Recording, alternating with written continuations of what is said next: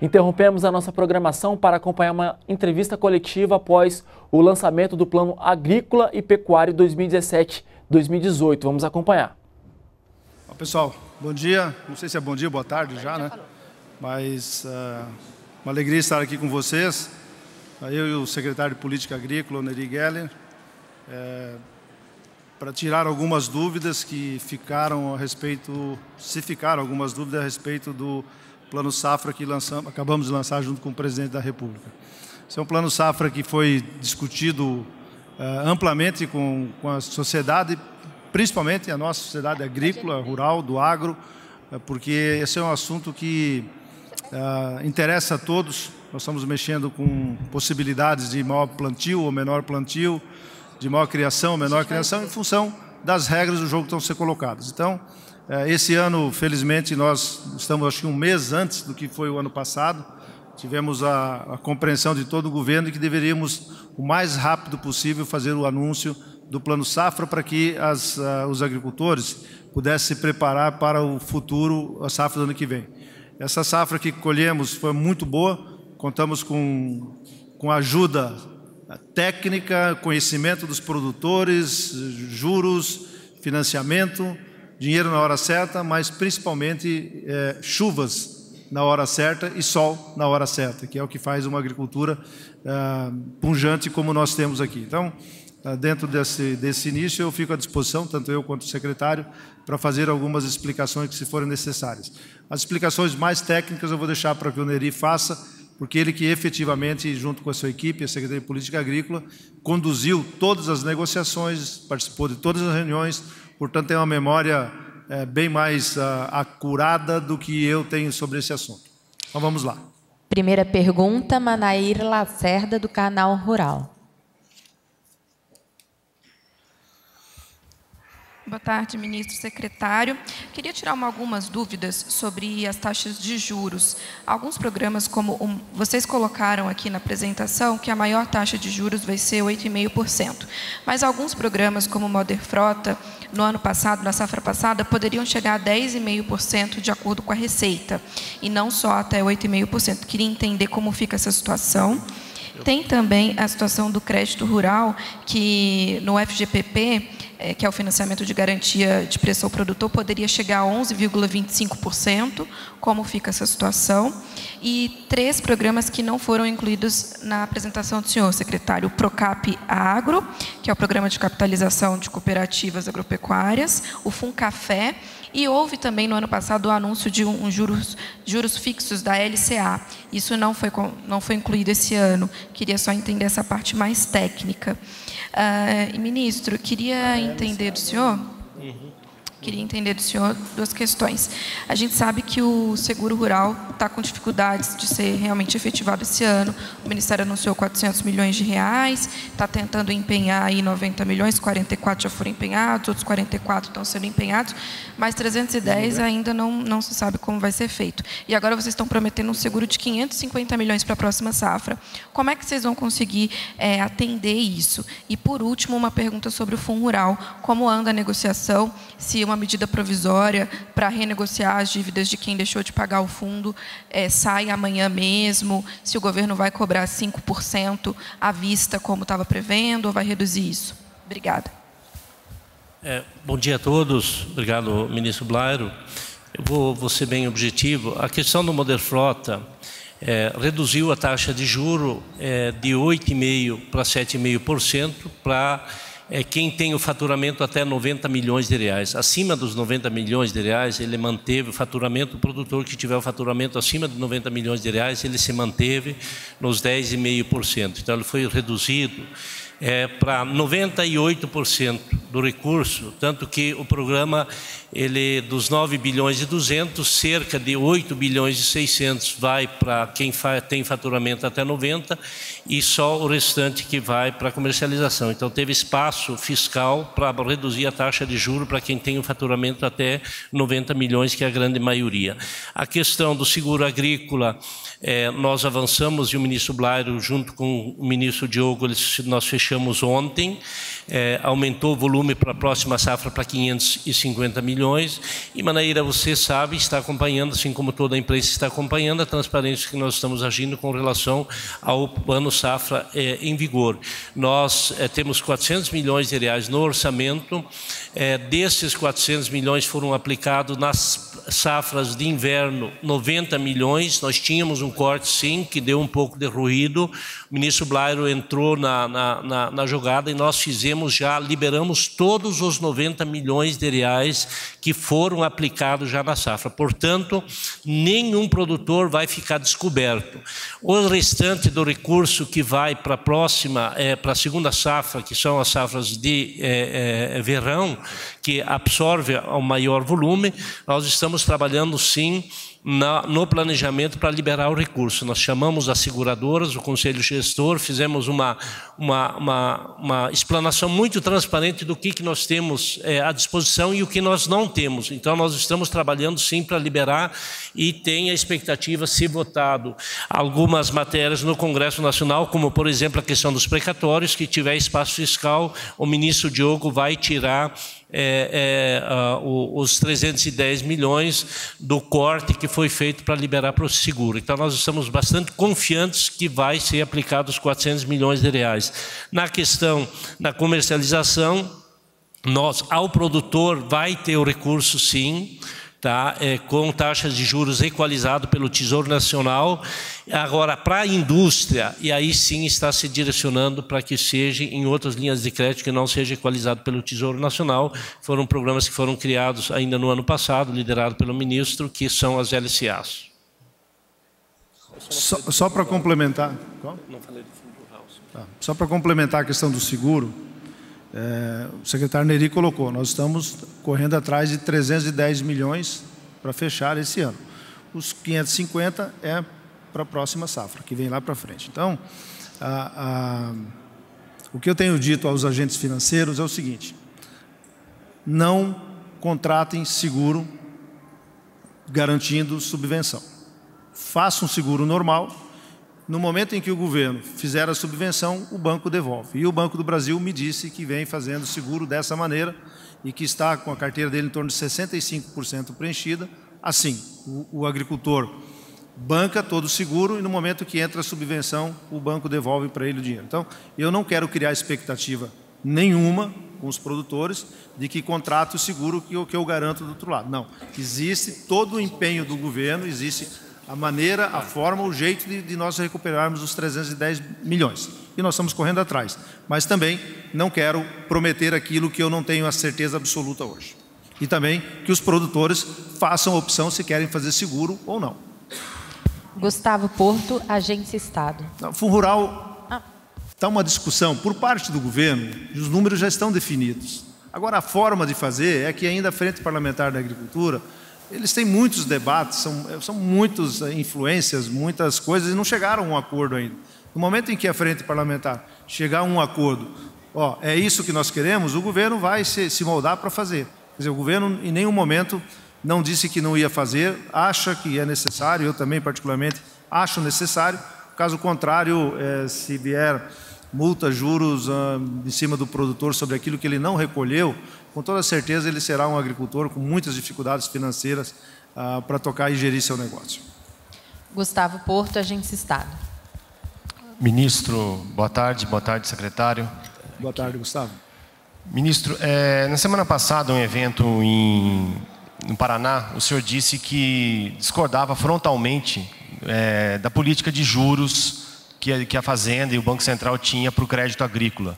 Eu queria saber se, se o senhor mudou de opinião e se o senhor está satisfeito ainda com esses juros que foram divulgados hoje. Gustavo, eu não vou entrar na confusão, tá certo? Mas eu, como ministro da Agricultura, eu quero juros sempre mais baratos. Eu quero créditos mais fartos e quero créditos mais a longo prazo. Eu tenho que defender isso.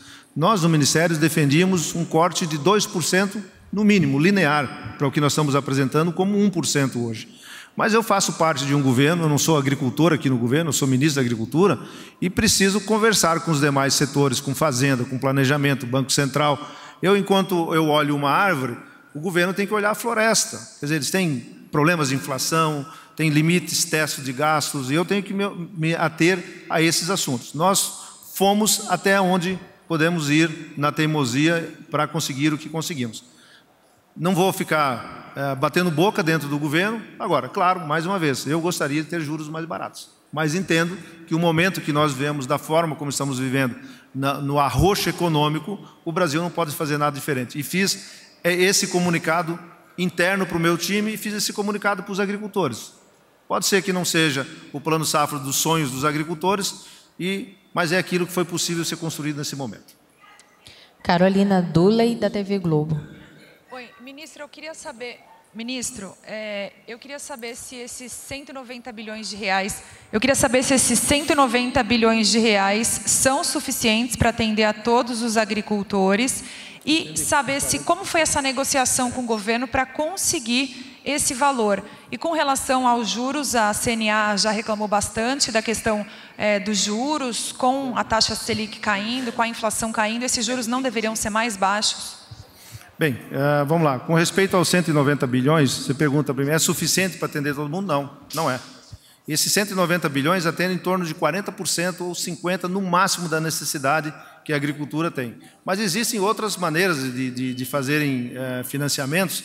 As trades fazem, fazem financiamento direto aos produtores. Tem muitos produtores que são capitalizados que não precisam de financiamento. Então, tem várias maneiras, mas a resposta é não dá para 100%, em torno de 40%, podendo chegar a 50% aí do atendimento. Qual era a outra pergunta? Desculpe. Então, eu acabei de, de, de, dizer que os juros, eu, o Ministério da Agricultura, defendia e sempre defendeu que nós tivéssemos um corte de 2% sobre o juro. Nós não conseguimos avançar a tal. Teve dois programas que foram diminuídos 2%. Mas, na, na maneira geral, foi 1% os juros menores que o ano passado. Manuela Borges, TV CNT. Bom dia, ministro. Uh, a gente recebeu o release do Planalto dizendo que foi, é o maior volume da história já liberado, é, mesmo é, momento de arroxo econômico. Esses recursos estão vindo da onde? Eles podem vir a ser contingenciados no futuro. E eu queria também saber se é uma coincidência nessa semana que se julga a, a chapa Dilma Temer no TSE. O anúncio do Plano Safra, o, o presidente também anunciou na segunda-feira uh, medidas para o meio ambiente. Se é coincidência ou se já havia sido planejado, enfim. Não, vou começar a resposta de trás para frente. Sim, já é planejado. Nós temos obrigatoriamente, obrigação de até 1 de julho estar com isso na praça, liberado, publicado, portarias e tudo mais. Quer dizer, primeiro de julho tem que estar pronto. Uh, o ano passado nós chegamos nos últimos três dias, as pessoas quase não dormiram, correndo atrás de fazer as publicações. Então, esse ano nós começamos um pouco antes. Eu pedi ao secretário Neri que não deixasse para a última hora. Então, não tem, não é um assunto ligado ao outro. É planejamento de governo que tem que seguir. Se nós não seguirmos, temos até penalidades. Ah, da onde vieram esses recursos? Esses recursos, se vocês lembrarem, o ano passado também teve um plano safra de 183 bilhões. Tá? E todo o dinheiro que foi colocado na agricultura, na parte de custeio e também dos investimentos, uma boa parte já retornou. Quer dizer, é, não é um dinheiro que você põe e não recebe. Ele é um, ele é um caixa. À medida que você coloca dinheiro, você recebe dinheiro. Então, uma boa parte dele, ele já existe no governo. Ah, os gastos também não são tudo de uma vez só. Dá tempo de receber tudo do ano passado para fazer a safra desse ano e não há contingenciamento nesses recursos. São recursos ah, disponíveis para fazer a safra brasileira rodar. Ah, vocês estão vendo os resultados que nós apresentamos esse ano. Foi um superávit muito grande, quer dizer, 13,4% de crescimento do, do, do PIB agrícola. Foi muito significativo para segurar a economia brasileira, mas também não precisa esperar que não vai vir 13% no outro mês também não, sabe? Entrou o que, que entrou agora? Entrou a safra, os volumes e tudo mais. Daqui para frente, o setor agrícola não, não tem a tendência de apresentar é, números tão bons quanto esse. Outra coisa que deve ser levada em consideração também daqui para frente é que os preços internacionais dos produtos que o Brasil faz, principalmente soja, milho, algodão, né, açúcar, parece que está com um pouco de, de recuperação de preço, mas as commodities que nós vendemos estão no momento de baixa. Então, nós temos um volume maior, mas com recursos ou dinheiro menor. Pode ser que isso se equilibre para o futuro. Rodar SBT. Bom, Boa tarde, ministro. É, Rudá Moreira, do SBT. A minha pergunta é no, no seguinte sentido, ministro. O senhor ressaltou ali a contribuição para a última, para a última avaliação do PIB, a forte contribuição do setor agropecuário, mais de 13%, que também foi ressaltado pelo presidente Michel Temer no seu discurso, é, que ele finalizou até dizendo que é, essa cerimônia daria uma injeção de otimismo é, e que com essa revitalização, nós, abre aspas, nós vamos conduzir o governo até 31 de dezembro de 2018. Dado o momento político e o dia que é hoje, ministro, o senhor não, não, não ficou parecendo, assim o senhor avalia, eu queria saber a opinião do senhor, é, se o Ministério da Agricultura não, ser, não, estaria sendo o único responsável pela pauta positiva nesse momento, estaria meio que tendo que carregar nas costas a imagem do governo nesse meio de crise política? Bem, Uh, o Ministério da Agricultura tem seu destaque, sim, aqui na esplanada. Né? Por algum tempo, esse ministério ficou acanhado, ficou algum tempo aí sem muita voz. Mas o Ministério da Agricultura é um dos ministérios mais importantes da, da, da esplanada. Já visto que, o que foi feito uh, esse ano, e não vou aqui dizer que foi o Ministério da Agricultura que fez, quem fez isso foram os agricultores, uh, com a ajuda de clima, de tecnologia, de Embrapa, de pesquisa, de inovação que está chegando, tudo isso faz com que a agricultura apresente resultados uh, favoráveis. Uh, eu fico feliz de que o Ministério da Agricultura possa, no momento de crise política que nós estamos vivendo, possa trazer notícias boas para, a sociedade brasileira. E posso garantir que se nós tivermos uh, um clima razoável novamente esse ano, a nossa safra será maior do que foi esse, esse ano que nós estamos vendo. E também trouxe hoje alguns números para mostrar de que esse, esse plano safra que a gente faz, ele não se destina só para os grãos, para 232 milhões de toneladas que nós temos, mas sim quase um, quase não, é 1 bilhão e 200 milhões de toneladas de produtos que de uma maneira ou de outra saem das propriedades das fazendas, que viram é, celulose, ou que vira etanol, que vira açúcar, que vira carne, é, enfim, laranja que vira suco, mas o movimento que a agricultura faz é tão grande que ele que faz a movimentação dessa economia. É, quando nós olharmos o PIB agrícola, puramente agrícola, ele está em torno de 5, 5,5%. Mas quando a gente traz ele para o agronegócio, para os outros envolvimentos, nós vamos aí 25% ou um pouco maior. Quer dizer, então se percebe que é, um, que é uma atividade que tem muita força dentro da, da economia brasileira. Gustavo Aguiar, do G1. Boa tarde, ministro. Boa tarde, secretário. Aqui. É, ainda na linha do colega, é, eu queria perguntar sobre também esse cenário atual. A crise política atual tem sido o maior obstáculo para o governo conseguir aprovar as reformas de interesse também do setor agropecuário. A avaliação justamente é que a falta de legitimidade é, nas mudanças, que são muito profundas, conduzidas por um governo investigado, podem aí trazer é, danos, enfim, não serem a, as medidas necessárias e que busquem essa legitimação. E a ponderação é que, justamente por falta de um nome que possa conduzir essas reformas, o presidente Temer pode até continuar no governo, mas ele dificilmente conseguiria conduzir essas reformas e aprovar essas reformas nos próximos anos. Só que essas reformas também são importantes para o setor que o senhor representa como ministro.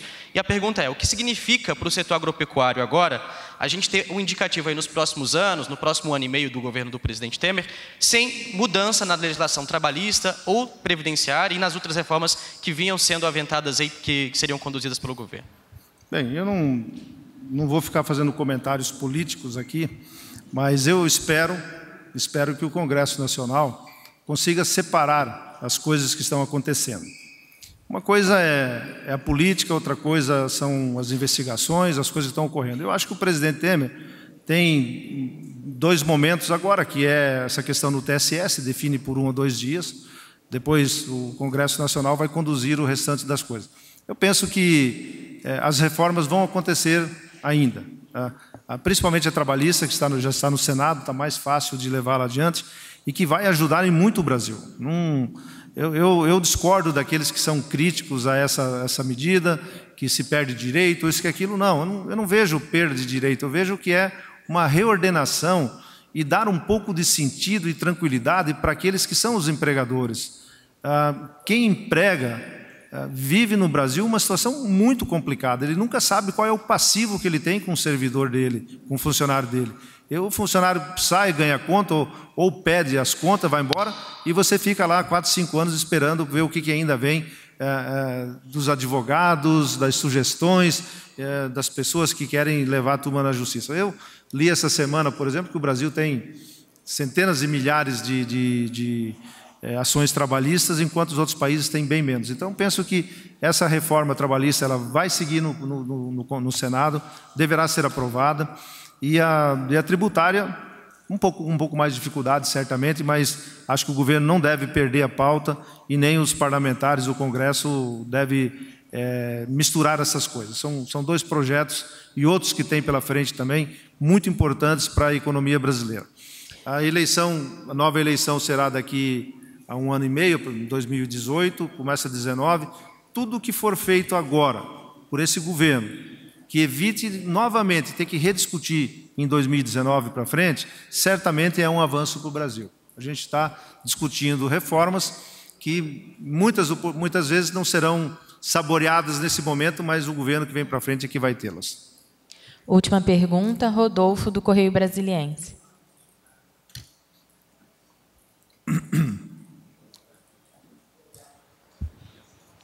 É, boa tarde, ministro.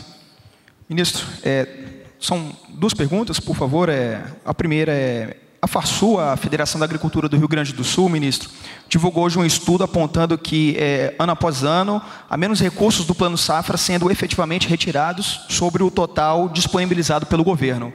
A avaliação da entidade é que, uma vez que o fundo do crédito rural está em queda, o governo ele deve aumentar os canais para a tomada de recursos ou anunciar valores mais viáveis.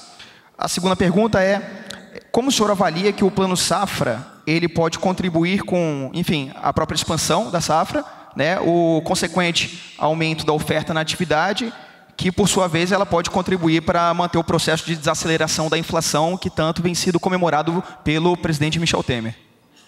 Bom, começar de, falando do, da importância da agricultura, do plano safra para a estabilização da economia.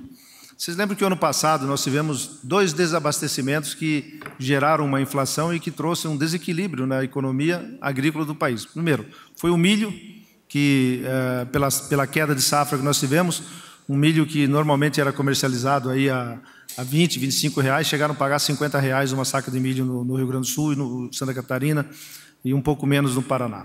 A questão do, do feijão também, tivemos que abrir a importação de feijão porque a nossa safra quebrou. Então, esses produtos e essas grandes safras que nós temos agora, dá toda a tranquilidade para a equipe econômica olhar para os preços dos produtos sem sobressaltos. Nós não vamos ter milho de 50 reais, nós não vamos ter feijão de, de 8 reais ou 9 como foi, nós, são preços estabilizados, temos estoques tranquilos, garantidos nas mãos dos produtores, em parte do governo, para atuar. Com respeito às críticas da Farsul, a Farsul sempre foi muito crítica ao modelo que tem.